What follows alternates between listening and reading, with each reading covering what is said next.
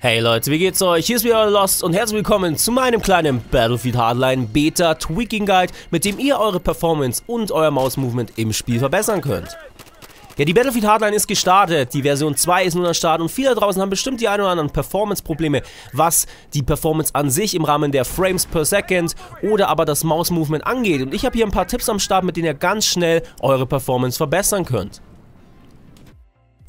Als erstes solltet ihr hierbei in den BF Hardline Beta 2 Ordner gehen. Der Pfad ist unten in der Videobeschreibung verlinkt, wo sich das Ganze befindet. Dort angekommen, macht ihr über Rechtsklick und neu eine neue Textdokument auf. In diesem Textdokument gebt ihr dann den unten in der Videobeschreibung befindlichen Code ein. Dieser sieht folgendermaßen aus.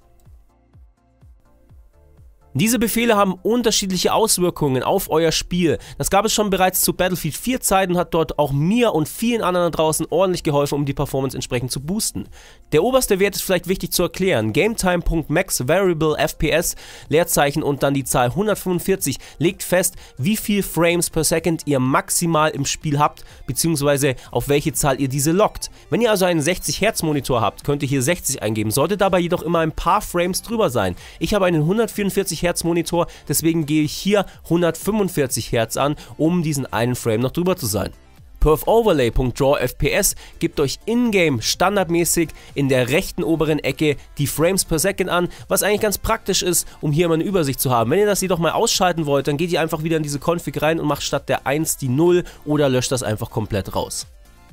Wenn ihr das habt, geht ihr auf Datei speichern unter, müsst natürlich darauf achten, dass ihr weiterhin in dem Ordner BFH Beta 2 seid und hier gebt ihr nun ein in klein geschrieben user.cfg.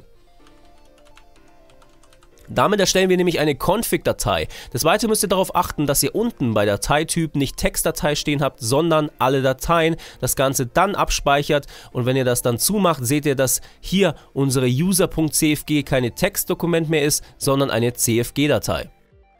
Weitere wichtige Änderungen, die ihr tätigen sollt, gibt es in den Ingame-Optionen, gerade was den Grafikbereich angeht, aber auch in den Gameplay-Optionen sind hier schon Sachen dabei, die wir ändern sollten.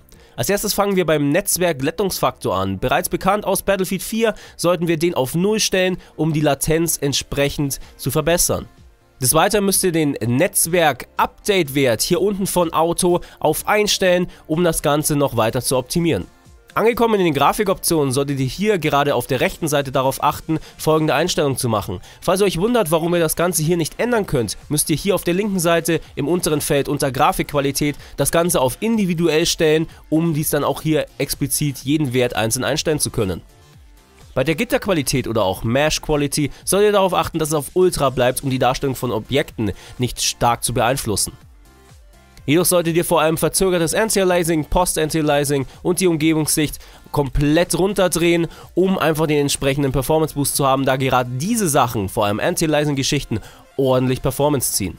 Um euer Mausempfinden entsprechend zu verbessern, solltet ihr natürlich die vertikale Synchronisation, also V-Sync, ausschalten, um dem Ganzen entgegenzuwirken und des Weiteren über Steuerung den RAW-Maus-Input einschalten, wobei es hier natürlich immer ein bisschen Zweifel gibt. Die einen sagen ein, die anderen sagen aus. Ich habe ihn jedoch eingeschaltet. Probiert das einfach mal aus. Ihr könnt natürlich auch mal eine Zeit lang, wenn ihr mit dem Wert eingeschaltet gespielt habt, auch mal ausschalten und überprüfen, ob es euch vielleicht ein bisschen besser vorkommt.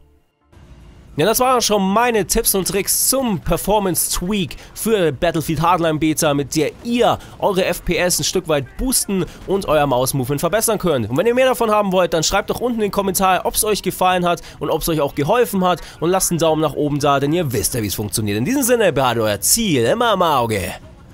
Euer Lost.